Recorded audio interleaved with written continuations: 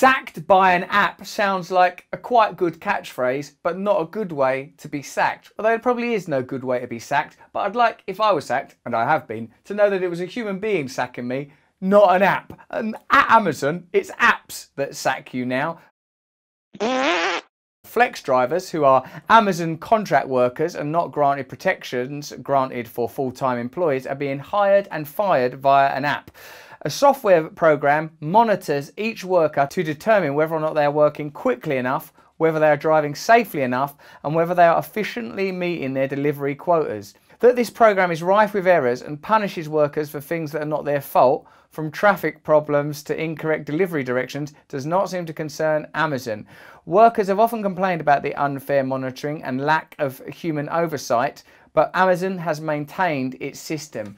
That is a bit worrying that an app might sack you for things that aren't your fault, like a traffic jam or incorrect directions. And it's such an obvious, glaring example of the process of dehumanization that happens at the business end of capitalism, the pinnacle of capitalism. When productivity is optimized, humanity is diminished. Look, human beings are regarded as somehow disposable and expendable, and it doesn't matter if one Amazon worker gets exhausted because there'll be another one along in a minute. It's not just that the lowest possible working jobs have become automated and taken over by AI and robots, but management itself. And what management, I suppose, indicates is that ideology has been taken over by the algorithm. No room for humanity, no room for discussion, no room for sympathy or empathy. And these are not inadvertent decisions, these are calculated decisions that are taken from observing data. Hold on a minute, don't really matter if we lose loads of workers because there's plenty more poor people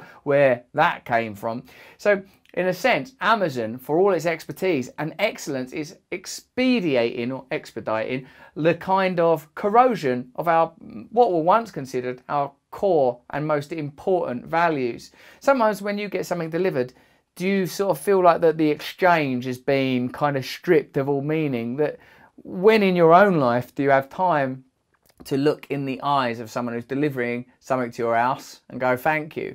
It's like the dehumanization takes place on a personal, social level. It's very hard now living in this culture to remember that within every single human being you meet is a divine spark of light, a soul, a history, a future, dreams, heartbreak, loss, all of those things are stripped away because we are becoming like the algorithms and managerial systems that manage us. So it's not just the fact that people that work for Amazon are being treated in an inhumane way. This pinnacle inhumanity is trickling down, becoming a kind of uh, immersive and enveloping experience for all of us. Our humanity is at stake. This article continues. The man who designed Amazon's warehouses has pretty much said that Amazon systems are set up to promote high employee turnover because longer term workers are more comfortable and less desperate to please.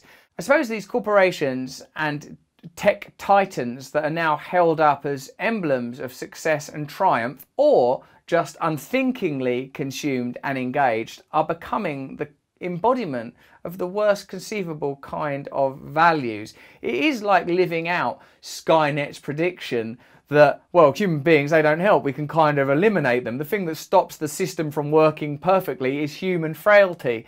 In the end, you do reach dystopic conclusions. If you don't, in a, in a sense, uh, valorize our um, values such as empathy, kindness, sympathy, then they get kind of extracted altogether. Mark Fisher has got some brilliant things to say about this in his book Capitalist Realism.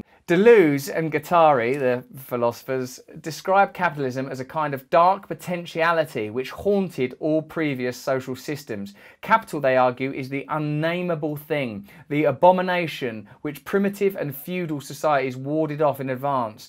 When it actually arrives, capitalism brings with it the massive desacralization of culture. It is a system which is no longer governed by any transcendent law. On the contrary, it dismantles all such codes only to reinstall them on an ad hoc basis. The code, for example, that human beings are inherently valuable and worth protecting and honouring, if you strip that out and it's like, well, actually, you could just, if one driver don't work, Get them out. You can have another driver along. If once you get let go of the value of a human being, then the machine can operate more efficiently. I think what we're experiencing now is the kind of amplified horror that occurs when this level of technical capability meets the rapacious appetites of capital. In an open letter to Jeff Bezos last year, Abe Collier wrote about his experience working as an Amazon delivery driver and the pressure put upon him during a workday. He had to intentionally dehydrate himself because of the lack of bathrooms, unrealistic expectations for speed of deliveries, hostility from passers-by, and physical strain. Collier also wanted to make it clear that he was grateful for the opportunity to be mistreated in this way. He wasn't eligible for unemployment benefits, and he wrote, Due to the pandemic, I was desperate for any income. That gratitude was also behind the recent failure to unionise at an Amazon warehouse. Many workers spoke of being grateful for the work as bad pay is better than no pay. So I suppose we see here how the pandemic has been used to create desperation, despair, and extreme need among working people so that they no longer feel that they have the power to mobilize, resist, organize, or make demands of their employers. This, I suppose, is why the pandemic has precipitated the single biggest transfer of wealth from poor people to rich organisations in history. This also came from Fisher's book, Capitalist Realism. Capital is an abstract parasite, an insatiable vampire and zombie maker, but the living flesh it converts into dead labour is ours, and the zombies it makes are us. Think again of the way that we interact with one another, the way that we interact with people that are providing us with service, particularly if they are veiled in the logos and livery of corporate giants. You no longer see the human being that's present. We are becoming zombies living in an algorithm. Now, those of you that think when I'm being anti-capitalist that I'm somehow a Russia Today Marxist, let's all go Maoist and get proper into some old school communism, beware that I'm not saying the other option is state communism. No, big state also not a good idea. Localized power, localization, allowing each other to make decisions that affect our own lives. Now, the way that this is prevented, I suppose, is by entombing us in the idea that we need some kind of sovereignty, whether it's apparently left or apparently right, to protect us from the horrors of the barbarians beyond the gate, whether those barbarians are pandemics or terrorists or what or communists or Catholic, whatever things being used this week to keep you in a state of desperation where at the extreme economic end of it you're willing to work for Amazon where you might be sacked at some point by an app, not even a human being, called Julie, nervously chewing a pen while they tell you, sorry, it's just not going to work out for you. You do take too long with your deliveries and you've been weeing in a bottle, which is weird and unforgivable. There was a reason I did that. There's no excuses here. From Mark Fisher again. Capitalist ideology in general, Zizek, Slavoj Zizek, the brilliant philosopher, capitalist ideology in general, Zizek maintains, consists precisely in the overvaluing of belief, in the sense of inner subjective attitude at the expense of the beliefs we exhibit and externalize in our behavior. So long as we believe in our hearts that capitalism is bad, we are free to continue to participate in capitalist exchange. According to Zizek, capitalism in general relies on this structure of disavowal. We believe that money is only a meaningless token of no intrinsic worth, yet we act as if it has holy value. I find myself doing that all the time. Moreover, this behavior precisely depends upon the prior disavowal. We are able to fetishize money in our actions only because we've already taken an ironic distance towards money in our heads. One of the things that Mark Fisher was great at was pointing out that we require a kind of a new sincerity, a kind of zeal. We need to find again a, the kind of emotion that religion or indeed football can evoke so that not everything is inverted commas, not everything is distant, not everything is, well, I understand that, you know, this is wrong, but we have to do it, it's just the system. But we need to renew our passion for potential change. We need a new kind of politics.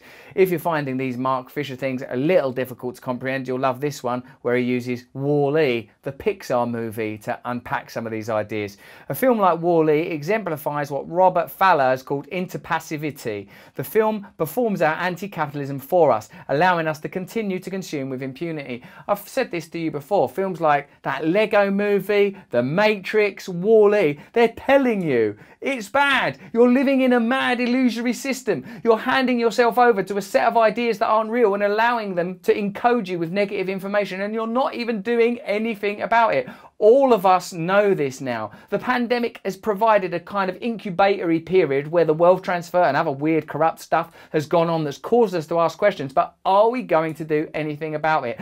Are we going to continue to live atomized lives of interpassivity or are we going to become engaged and demand from whatever perspective the right to be treated as a human being with dignity? If you like that, please would you press like and subscribe and join up to my mailing list so I can monetize you? I mean, the fact is I've got to build community somehow. And uh, let me know what you think of this video. If you want to listen to me having big, deep, hour-long chats, get my app from, oh, bloody hell, get Luminary from Apple. Look, I don't know how you're going to free yourself, but somehow you will and also watch my Shakespeare show, Our Little Lives, streaming on live now. All the links for all of these monetized projects that I do are in the description. If you don't want to get involved, no one could be more sympathetic than I am. Let us use these tools to create a new kingdom, a new kingdom where these tools are rightly positioned in our service, not vice versa. Thank you.